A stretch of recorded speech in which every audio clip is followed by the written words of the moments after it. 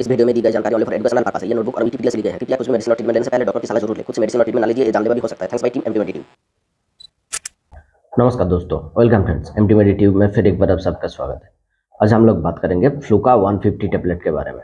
जानेंगे इसके अंदर कंटेंट सॉल्ट कौन सा कंपनी ने इसको मार्केट में लाया है। इसके सही में डॉक्टर रिकमेंडेड डोज क्या हो सकते हैं? इसको क्यों यूजेस लिया जाता है? यानी किन किन बीमारियों को ठीक करने के लिए यूजेस लिया जाता है? इसको यूज़ करने पर साइड इफ़ेक्ट क्या हो सकता है? सब कुछ आज पूरी डिटेल्स में जानेंगे। पूरी वीडियो के साथ बने रहिए, पूरी जानकारी लीजिए, क्योंकि आधा अधूरा जानकारी जानलेवा भी हो सकता है। चलिए वन स्टेप लाना बट एडवांस मेडिकल नॉलेज की तरफ़ बढ़ जाए फ्लूका 150 टैबलेट जिसको सिप्ला फार्मास्यूटिकल कंपनी द्वारा मार्केट में लाया जाता है। इसके प्राइस हो सकता है दस से कर बारह रुपये में आपको मार्केट में मिल जाएगा। थोड़ा सा सस्ता मिल सकता है, आपका ऑनलाइन परचेज होगा तो थोड़ा सा सस्ता भी मिल सकता है। इसके अंदर जो कंटेंट सॉल्ट है, यानी फ्लूका 150 के अंदर जो कंटेंट सॉल्ट मौजूद है, वो है फ्लूकोनाजोल 150 mg यानी 150 mg के स्ट्रेंथ में फ्लूकोनाजोल इसके अंदर मिलाया जाता है। फ्लूकोनाजोल एक एंटी फंगल मेडिसिन के श्रेणी में बिलोंग करता है, जो फंगल इन्फेक्शन को ठीक करने के लिए यूजेस लिया जाता है। फ्लूकोनाजोल के बहुत सारा ब्रांड नेम्स मार्केट में मिल जाता है। ब्रांड नेम वो है, जो दवा बनाए जाने वाला कंपनी द्वारा दी जाती है उसको बेचने के लिए। इसके जो मुख्यतः ब्रांड नेम है, वो है फ्लूका 150 फंस फोर 150 वन कैन 150 और फोर कैन 150 ये जो मुख्यतः ब्रांड था, ये मैंने बताया। और भी बहुत सारा ब्रांड हो सकता है, जो जगह के अकॉर्डिंग चेंज हो सकता है और दवा बनाने वाली कंपनी द्वारा उसके नाम अलग अलग दिया जा सकता है, जिसके अंदर कॉन्टेंसोल फ्लूकोनाजोल ही होगा और इसके काम एक ही होगा, एक से दूसरे ब्रांड में सब्सटीट्यूट की जा सकती है। फ्लूका 150 के जो यूजेस है, वो बहुत ही ज़्यादा है। यानी फ्लूकोनाजोल के जो यूजेस है, वो बहुत सारा बीमारियों को ठीक करने के लिए यूजेस लिया जाता है। Any types of fungal infection को ये ठीक कर सकता है। हर तरीके का फंगल इन्फेक्शन रिंग वार्म एक फंगल इन्फेक्शन के ही भाग है। उसको ठीक करने के लिए फ्लूकोनाजोल टैबलेट का यूजेस लिया जाता है। कैंडिडियासिस एक बीमारी है। यानी बहुत सारा जगहों में कैंडिडियासिस हो सकता है। जैसे कि महिलाओं में सबसे ज़्यादा होने वाला भेजाइनल कैंडिडियासिस उसके प्रॉब्लम को ठीक करने के लिए फ्लूकोनाजोल टैबलेट का बहुत ज़्यादा उपयोग लिया जाता है। ओरल थ्रास्ट एक बीमारी है जो जीभ के अंदर हो जाता है। आप पिक्चर में देख सकते हो, जीभ के ऊपर जो टांग के ऊपर जो सफ़ेद कलर का इन्फेक्शन होता है, जिसको ओरल थ्रास्ट की बीमारी कहा जाता है। उसको ठीक करने के लिए फ्लूकोनाजोल टैबलेट का बहुत ज़्यादा उपयोग लिया जाता है। एसोफेगल कैंडिडियासिस की बीमारियों को ठीक करने के लिए भी यूजेस लिया जाता है। एसोफेगल कैंडिडियासिस कैसे हो सकता है?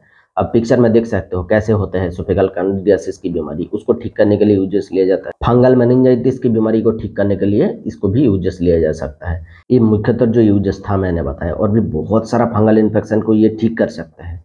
जो डॉक्टर उनके एक्सपीरियंस के अकॉर्डिंग ले सकते हैं। दोस्तों, इसको खुद से नहीं यूज़ कीजिए। डॉक्टर के सलाह से ही हमेशा यूज़ कीजिए। क्योंकि इसको लेने के बाद बहुत सारा साइड इफ़ेक्ट हो सकता है। जैसे कि नाजुआ वॉमिटिंग जैसी टेंडेंसी हो सकता है। एब्डोमिनल पेन हो सकता है।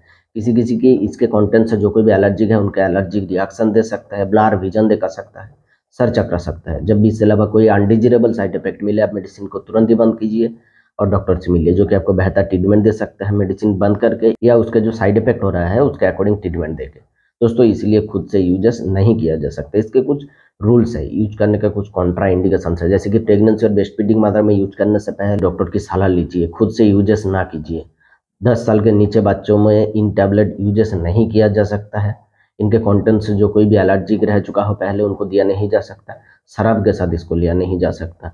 ज़्यादा किडनी की समस्या हो और हार्ट अटैक की समस्या से जूझ रहे हो जो पेशेंट उनमें दिया नहीं जा सकता। डॉक्टर के सलाह के बिना खुद से यूजेस नहीं किया जा सकता। दोस्तों, सबसे महत्वपूर्ण पार्ट इसके लास्ट में जो आता है, इसके डोज डोज क्या लिया जा सकता है? यही बहुत सारा वीडियो में बहुत सारा जानकारी है और जो डॉक्टर रिकमेंडेड सही डोज है, वो आज जानेंगे। वो क्या है? इसको हमेशा नॉर्मल जो प्रॉब्लम होता है रिंग वार्म वगैरह और नॉर्मल जो छोटे मोटे स्किन के प्रॉब्लम होते हैं फंगल इन्फेक्शन के दौरान जो प्रॉब्लम होते हैं, उसको ठीक करने के लिए हफ़्ते में एक बार लेने की सलाह दी जाती है।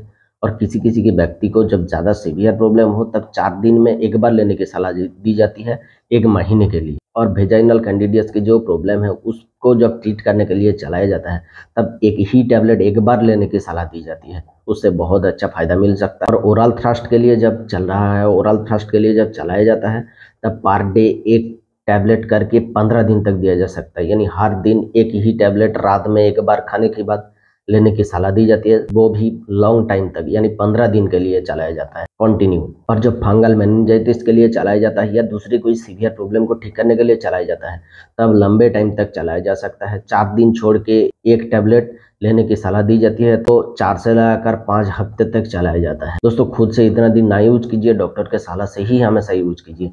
डॉक्टर जांचने के बाद ही आपको डोज निर्धारण करके देते हैं या मेडिसिन निर्धारण करके देते हैं। आज के लिए बस इतना ही इतना ही इन्फॉर्मेशन देना था आप लोगों को। फ्लूकोनाजोल टैबलेट के बारे में। अगर वीडियो अच्छा लगे तो लाइक कीजिएगा और हमारे चैनल को ज़रूर सब्सक्राइब कीजिएगा आगे ऐसे ही वीडियो पाने के लिए। मिलेंगे अगले वीडियो पर तब तक के लिए सुरक्षित रहिए, अच्छे रहिए, धन्यवाद।